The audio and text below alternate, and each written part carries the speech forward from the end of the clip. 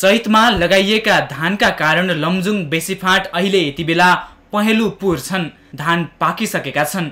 आकाशे पानी परिरहेकाले समयमै पाकिसकेको खेती थन्काउन नसके नोक्सानी बेहोर्नुपर्ने पिरले लमजुङका किसानलाई पिरलो छ। यतिखेर पानीको सुविधा पनि भयो बिउ पनि भएर चैते धान नरोपेको हुनाले हामी अहिले असारे धान रोप्दैछौँ यतिखेर। जिल्ला कृषि विकास कार्यालय लमजुङका अनुसार लमजुङमा पन्ध्र हजार सात सय दुई हेक्टर क्षेत्रफल जमिनमा बर्खे धान लगाउने गरिन्छ।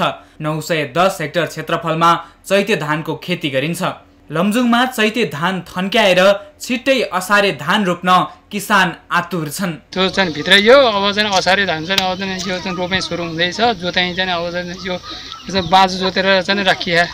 चैते धान नलगाइएका सिँचाइ सुविधा भएका लमजुङका अधिकांश फाँटहरूमा भने किसानहरूले असारे धान रोप्न थालिसकेका छन् काम गर्ने मान्छे नहुँदा चैते धान लगाउन नपाएको तर अहिले पानी पनि पुगेको बिउ पनि तयार भएकाले असारे धान रोप्न जुटिसकेको सुन्दर बजार पुरानो डिहीका किसान बिमला गिरी बताउनुहुन्छ खेतालो खोज्दा पाएन भैँचालोको चाहिँ कर्मी जम्मै घर बनाउन गएछन् खेतालो एउटा खेतालो खोज्दा नि पाएन असार धान थन्काउन गाह्रो भइसक्यो पानीले यस्तो उपरे पानी आएको छ आली लाउने मान्छे पनि पाएन हली पनि पाएन खेत्र पनि बेला भइसक्यो बिउ हुर्किसक्यो। लमजुङका किसानहरूले बढी मात्रामा रामधान सुक्खा दुई लोकतन्त्र सावित्री मकवानपुर लगायतका जातका धानको खेती गर्दै आएका छन्।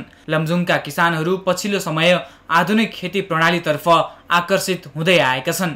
न्युज ट्वेन्टी फोरका लागि लमजुङबाट टिभी जर्नलिस्ट श्याम शीतल परियारको रिपोर्ट।